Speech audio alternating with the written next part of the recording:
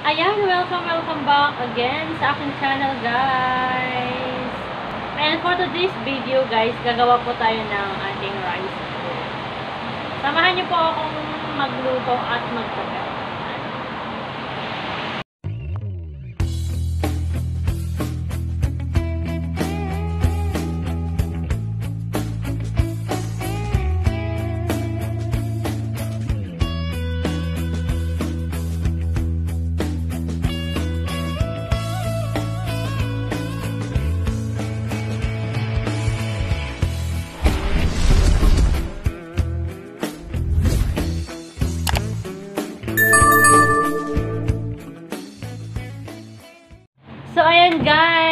Ating kusina medyo makalat, kaya pasensya na.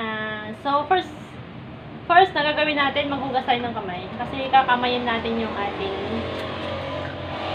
ah, rice.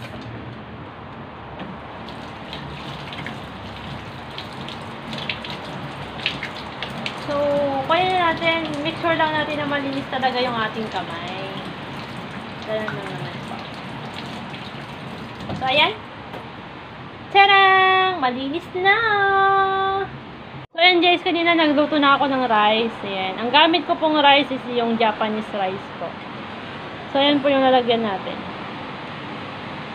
Kuha lang tayo ng kanin. Madami yung kanin. Kunti lang. Kunti lang daw yung madami na. ayan. So, ayan. Takpan lang natin. Ito po yung kailangan natin. Kailangan ko ng pork plus bacon, cheese. Ah, ito, para sa rice yan. Kaya kailangan ko to. Yan yung ating rice. So, mamaya ipapay lang natin siya. So, umpisa na natin. Lalagay lang po natin itong pampalasa ng rice natin. Meron actually yung dalawang klase yan. Ayaw yata magpa Ayaw yata magpa-open. Yan. Lagay lang natin sa rice. Ayan. So, dalawang klase. Imimix ko siya. Yan. Imimix ko siya, guys. Yung itong isa, may sisamisid kasi to. Itong isa, wala. So, di ba sabi ko kanina, nanghugas tayo ng kamay. Pwede rin naman natin hindi natin kakamayin. Kasi medyo mainit pa yung kanin. Baka mapaso yung baka mapaso yung aking kamay. Nako. Okay na yan. Pero parang hindi masyadong madali. Gupitin nga muna natin to. Tapos,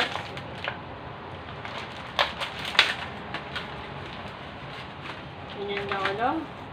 Dapat yung walang sira na ko ano. Roasted seaweed kasi itong tawag dito. Yan. Kupitin, ganon.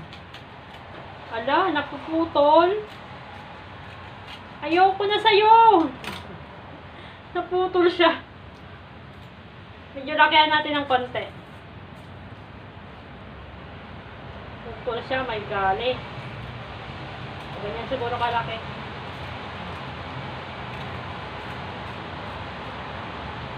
Kasi roasted kasi ito eh. Yung isa na lang kaya gamitin. Ayan na guys, tapos na. Tapos ko nang ginupit. Yung bacon. Nalagyan kasi natin siya ng bacon guys. Diba? Yung ingredients ng bacon. Oh, ayaw yata magpa-open. Yan.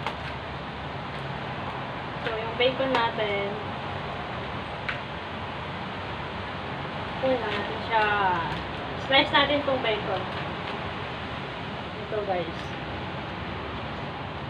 So, mga dalawang slice siguro. Ano ba yan? Naputol naman dyan. Yan. Dalawahin natin ang slice. Tapos yung cheese natin yan. Puro lahat bago yan. Yan, bago. Bagong bili. Sana all may bago. Sana all may bago. Yung jowa mo may bago na, ikaw wala pa. Ay! Pahugot. May gali. May pahugot tayo dyan. Patay tayo dyan. Slice lang ng ganun. Lang. I-half lang natin. Umaya na. So, umpisa na natin yung ating floss. Ganon. Kuha tayo ng kutsara. Of course. Yan. So, di ba kanina nagkamay tayo? Ay, nagkamay. Naghugas tayo ng kamay. Yun sa, ano ko eh, kamay ko.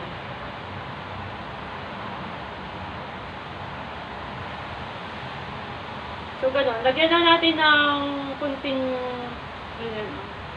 Tapos, lagyan natin siya ng floss sa loob. Daming achichiburit itong pagkain na to. Yan. Tapos, roll natin. Ganun lang. I-press lang natin ganun. Paloob. Ganun. Alam niyo ba nung bata, nung bata ko, nung bata ko ulit, guys. Mahilig ako magkanta. Nung bata ako, guys, yung mama ko, mahilig, mahilig magpakkel-pakkel. Uh, pakpakkel, ganon. Ang tawag nila dito sa Ilocano, pakpakkel. Ganon. Yung, ano yun, yung fried rice, ginapakpakkel nila. tawag Basta ganyan siya guys, oo. Oh, see?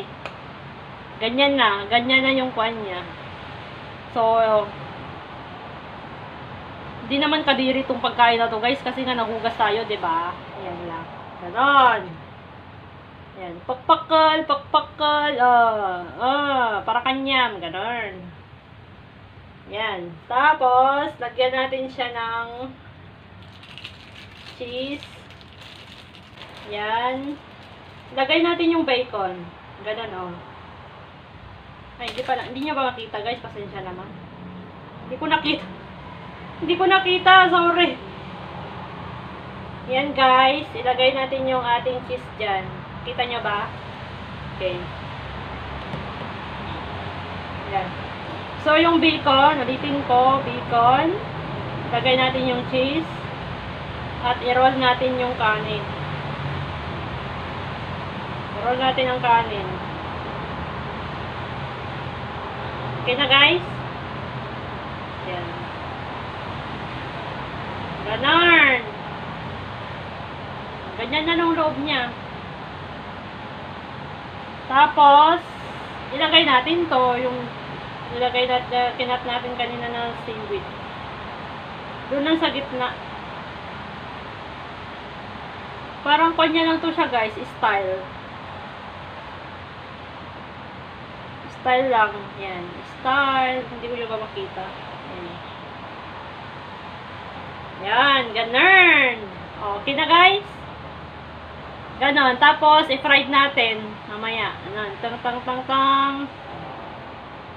So, ganun siya guys. Kuha tayo ng plate. Kuha lang ako ng plate. Lagay lang natin dyan. So, ayan. Same procedure lang po tayo guys. Layo ng ating ito. Lagay na natin ng floss dyan sa loob. Ganun. Push. Actually guys, kailangan dapat natin basahin yung ating kamay. Konti. Parang, kuan lang, basahin ng konti. Kasi magdidikit siya eh. Ayan. Magdidikit yung kanin sa kuan mo, kamay mo.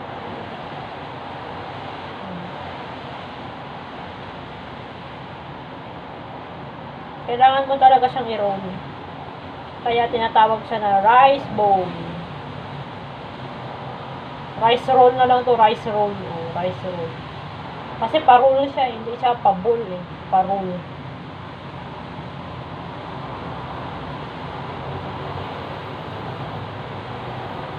Okay, yan. Siyempre, ayusin nyo naman. So, ganon. Same procedure tayo kanina. Bacon, tapos yung cheese. Lagay natin yung kanin.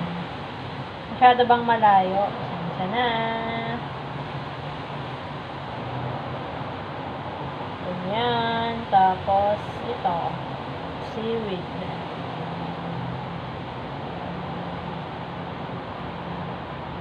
Wala to siya guys, kaartihan.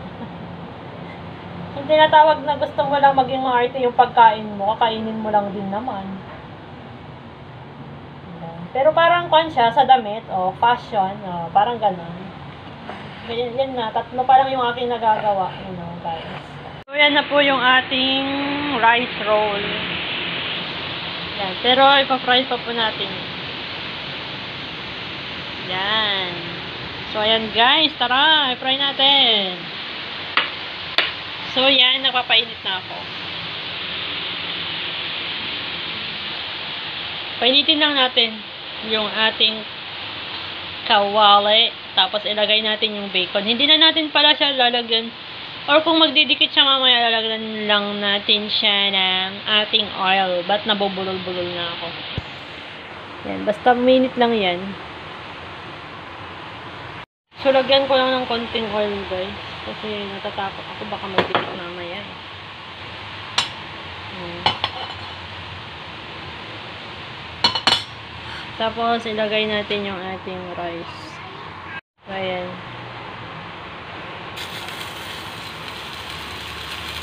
Kung kakasya sa lahat, ilagay na lang natin sa lahat. Kasi itong ating uh, medyo malalaki. Hinaan lang natin yung konti yung apoy. Kasi medyo malaki. Ayan na. Baka masunog yung ating bacon. Ako.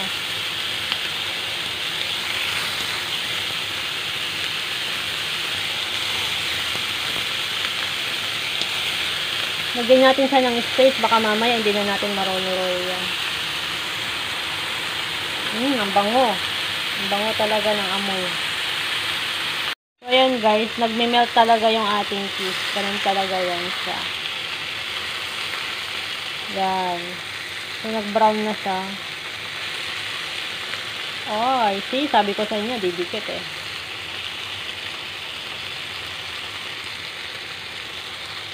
Yan. Dumikit kasi yung cheese.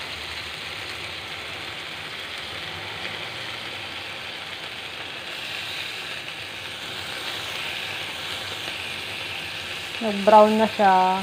So, pwede na yan. Ayan. Steady, steady. Ayan.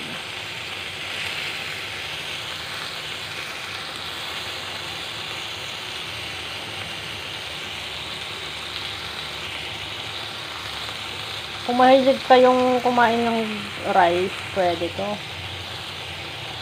Yung babaonin na lang siya, guys.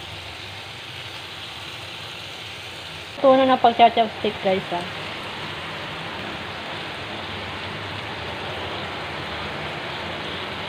Ayan, niluluto ko siya dyan. Pero itong, itong tatlo, guys, itatry natin siya sa oven kung yung hindi na natin siya i-roll. Yung icha-chopstick para yung view niya okay siya. Tignan natin. Ayan, oven natin yan. Tignan natin. Kung mas maganda yung view niya, di i-oven na lang natin. Kasi gusto kong mapanatili yung kagandahan ng kanyang labas. Kaya, yan. So, ayan yung niluto natin dyan. Sa kawali. Papakita ko sa inyo yung in-oven natin. So, parang ang pangit na siya. Tignan mas maganda kanina, di ba guys? So, yan yung in-oven natin. So, parang mas maganda siyang i-oven na lang. Kasi bacon lang naman yung lulutuin natin. So, at least guys, ipinakita ko sa inyo yung maganda. Kung saan mas magandang lutuin yung ating rice roll. Yan na po guys, yung ating cheese sunog. So, ilagay na natin siya doon. So, yan na po yung ating rice roll. Ewan ko. Parang hindi ako na-satisfy guys. Yung pagkaluto niya, nag, ano yan, nagdikit kasi siya. So, mas maganda talaga yung may pinaglutuan ka, yung hindi ganon. So, yung parang electric siya, guys. Ayan. So, at least, guys, yan na po yung ating rice roll. Ayan, maraming salamat po sa inyong panonood. I hope you, you enjoy this video, guys. Maraming salamat. So, ganyan talaga, hindi talaga tayo perfect. Kasi gusto naman natin maging perfect, pero hindi naman perfect. Ano magagawa natin? Puro hugot tong ating vlog ngayon, guys. Sige, salamat guys. Sa mga hindi pa pa nakasubscribe sa aking channel, please subscribe and click the bell button para updated po kayo sa ating mga susunod na recipe. Maraming salamat guys.